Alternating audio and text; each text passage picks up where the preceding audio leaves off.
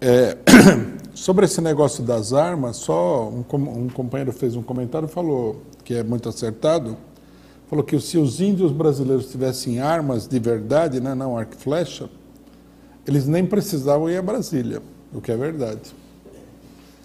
Bastava falar aqui, essa, essa terra aqui é minha, entrou, passa fogo no cidadão e pronto.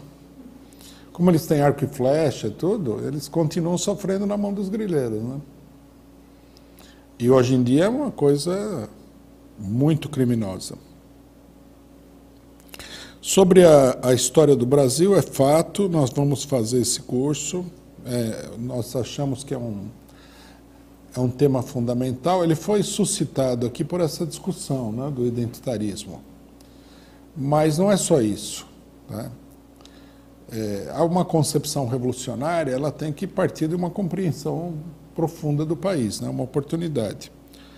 É, as pessoas quiserem ajudar, porque vai ser um trabalho coletivo, né, podem entrar em contato e participar do processo, sim. Nós vamos dividir isso em vários temas não decidimos ainda o caráter do curso, a extensão, as aulas e tal, mas vai ter uma discussão bem aprofundada.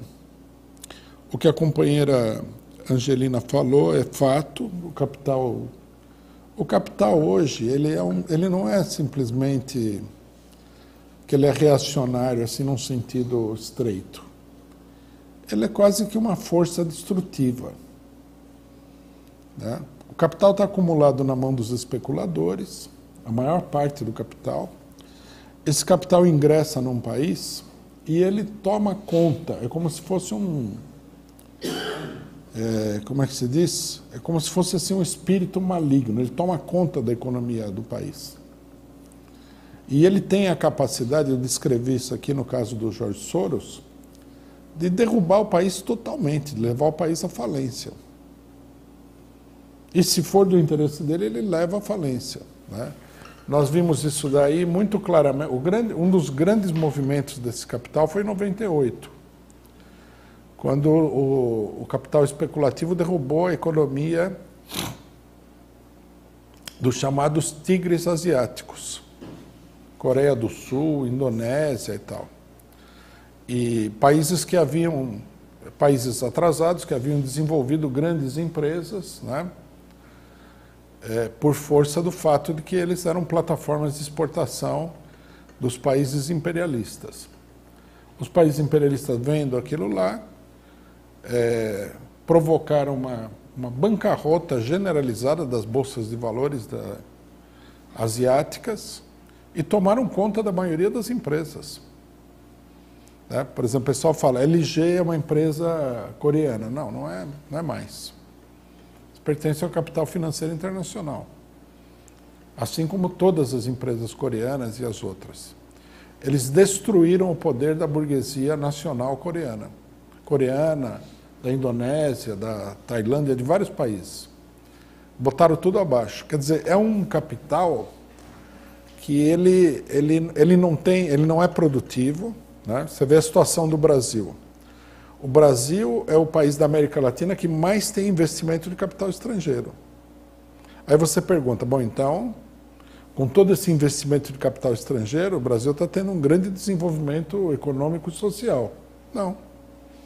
A indústria brasileira retrocedeu, perdemos quase 30% da indústria nacional. É, a população é cada vez mais pobre, cada vez tem menos direitos, o sistema de saúde está sucateado, o sistema educacional está destruído, as cidades estão caindo aos pedaços. Quer dizer, ele, o capital entra, mas ele sai também com uma. Ele, ele, ele é que nem a, o pessoal fala da bala dum-dum, né? Faz um buraco assim quando entra e faz um buraco assim quando sai, né? É uma bala dum-dum. Então, entra o pessoal fala, ah, precisamos atrair o capital estrangeiro. Quando o capital estrangeiro vem, o país morre. Né? Quer dizer, já não é que ele é reacionário ou que ele não é progressista. É quase que um, uma espécie assim de, de arma de guerra, de destruição em massa econômica. E, e a especulação financeira está destruindo muito da economia nacional. leve em consideração. É, é, tem muita coisa que a gente poderia explicar, né, que muita gente não entende. Mas leve em consideração o seguinte: a indústria da União Soviética, uns 60% foi evaporou com, na mão né, de, dos agentes financeiros de capitalistas como George Soros. Eles colocaram lá um, um, um, um, economista lá, não me lembro o nome dele, é um economista muito famoso, mesmo que destruiu a economia polonesa. Destruiu. É como se tivessem jogado uma bomba atômica econômica no país. E o que sobrou, eles estavam vampirizando lá. Né? Eles não gostam do Putin, não é porque o Putin não é a favor da mulher, do homossexual, nada disso, tem nada a ver. Eles não gostam do Putin porque o Putin colocou barreiras a essa atividade monstruosa, essa atividade criminosa, que é uma atividade criminosa. Durante o período da privatização, né, se vocês é, tem um livro que é muito interessante, chama Doutrina do Choque, leiam o capítulo sobre a privatização na União Soviética. Ela mostra ali que a população da União Soviética, durante a privatização, pela primeira vez na história do país, diminuiu, por causa das mortes. É uma, é o, esse, esse capital é um capital destruidor, é como se fosse uma arma de guerra. Quer dizer, ele já passou muito do ponto de ser reacionário. Tá? Reacionário parece até bonzinho, né? Perto desse capital. É um capital monstruoso.